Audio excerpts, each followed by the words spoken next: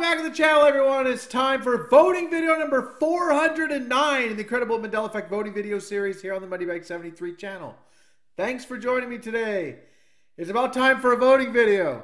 I feel like I'm back in 2007 when I used to knock these out like every day or every other day. I was working full time and I was doing the voting videos. It was insane. All right, listen to this.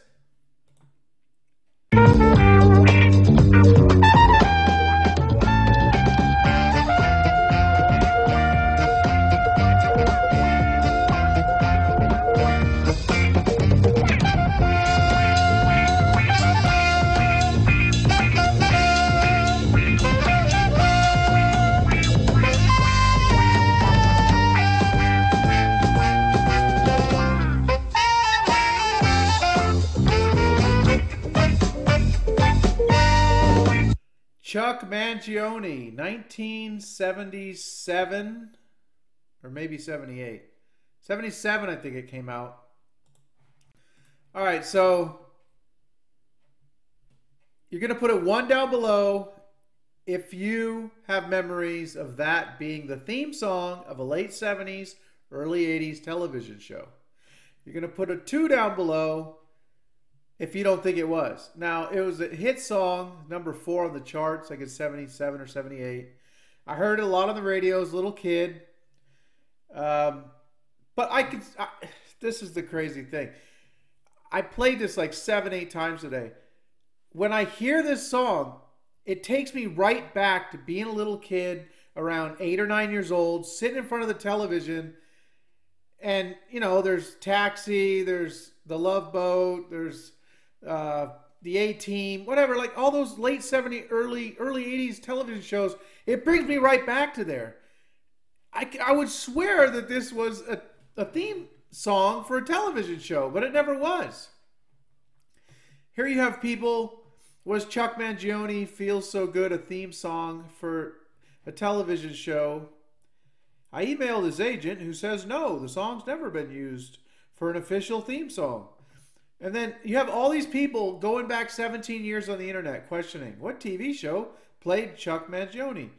Uh, and then there's other ones. And then even on Reddit, there's quite a few people who think that the song Feels So Good, which was that song,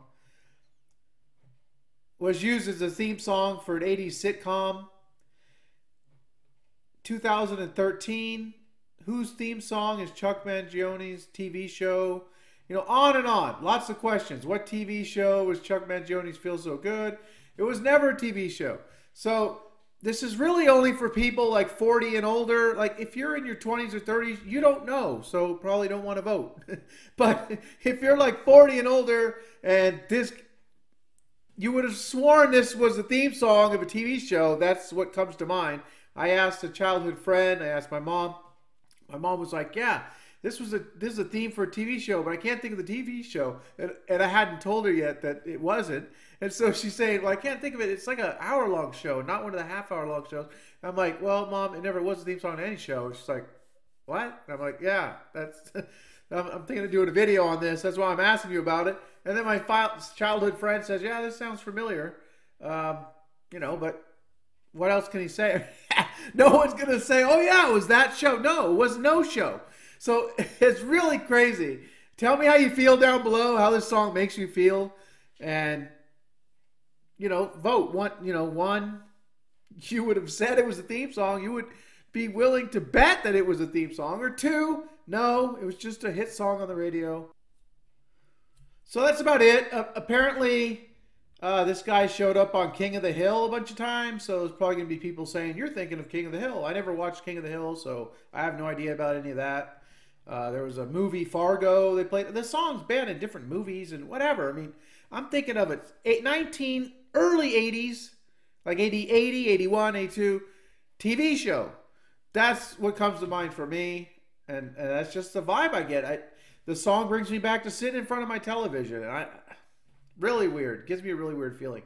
So anyway, before I go, there was something else I've been wanting to talk about, and I've never talked about it on my channel. I mean, I've I've pointed out some naysayers and you know some people that are bashing the Mandela effect and this and that, but I never really talked about people in the community or stuff. But um, All Time is actually not in the community because I called him out years ago when I was seeing him do videos about things that we were covering, me and other content creators were covering.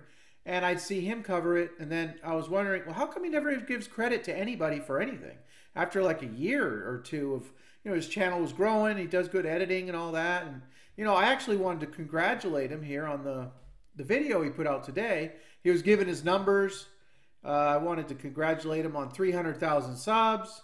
Congratulate him on 9 million hours watched. I mean, he's got the number one watched channel for Mandela Effect content. He gets more views than anybody else covering the Mandela Effect, at least the last few years. But I wanted to talk about this nine months ago.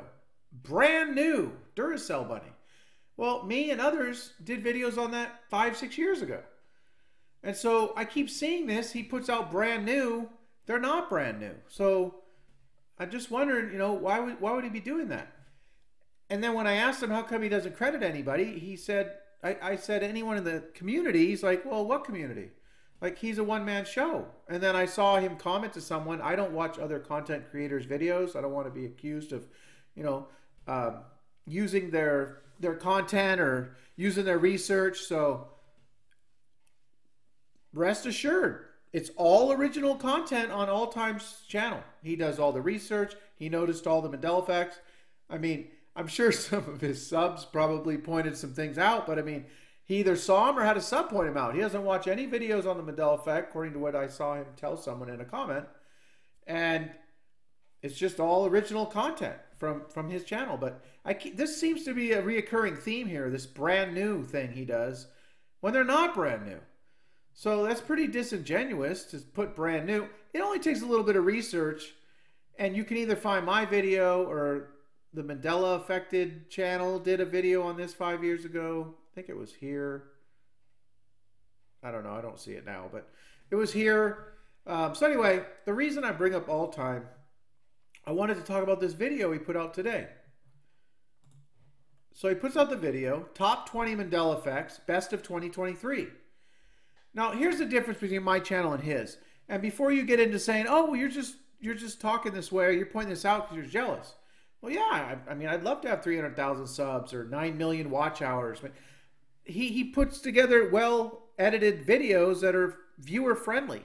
Mine's about the research. I mean, you're not going to get as many views looking at web pages and, and the things I show and, and showing different YouTube clips and what the the style of my videos over the last eight years is not going to attract as many people as this. So, you know, I, I congratulate him on the type of vid- the, videos that he's done and getting so many views and all that. That's great. But the difference between this channel and my channel is I would never put out a video like he did today.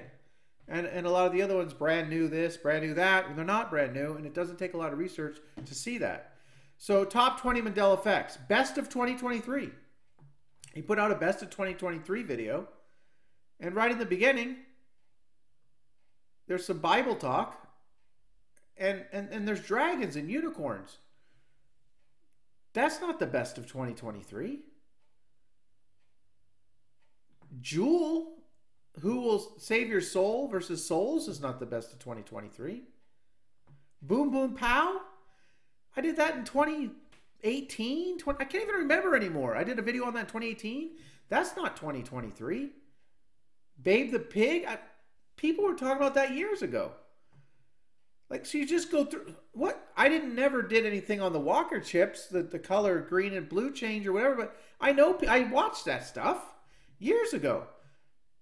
So this is so disingenuous to put out a, a video called the the top Mandela effects, the best of the 2023, and they're all from four, five, six, seven years ago like he gets away with it. People are like, "Oh, thanks for bringing us the great compilation of the best of 2023 all time.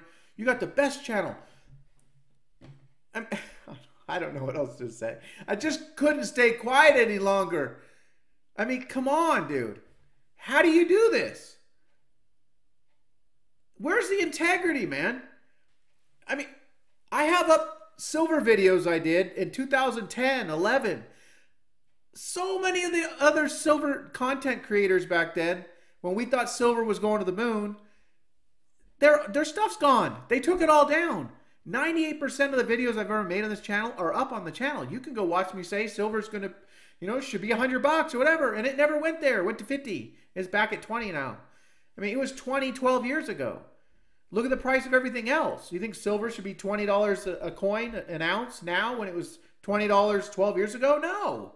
It's heavily manipulated by the banks that, you know, that are running things. So you know, at least gold is over 2000 an ounce or whatever. It was 1200 back then. You know, it's almost double when I was talking about it years ago, nine, ten years ago. But I was wrong. That's my whole point. I was wrong, but my videos are there. Go listen to me be wrong. People are wrong, but a lot of people, you know, they don't want any video up where they were wrong. It'll show that they get things wrong. Everybody gets things wrong. It's about having integrity. And so I left all those videos up because I have integrity. I was wrong. I lifted them up. They're on the channel. Why take them down? Because I was wrong. But where's the integrity in this? I mean, this stuff was talked about years ago, and it's all in a best of 2023? Come on, man. He knows it's not the best of 2023. Anyway, leave comment down below. Tell me what you think. I mean, I didn't really want to do a little bash session on all time, but you know, I'm tired of not mentioning anything. I mean, this is ridiculous. This is the most watched channel on YouTube for Mandela Effect content, and that's what you get. You get, you get someone misleading his viewers, telling him that these are from 2023, and he knows they're not. Anyway, go create the reality that you want. I'll be back with everybody soon.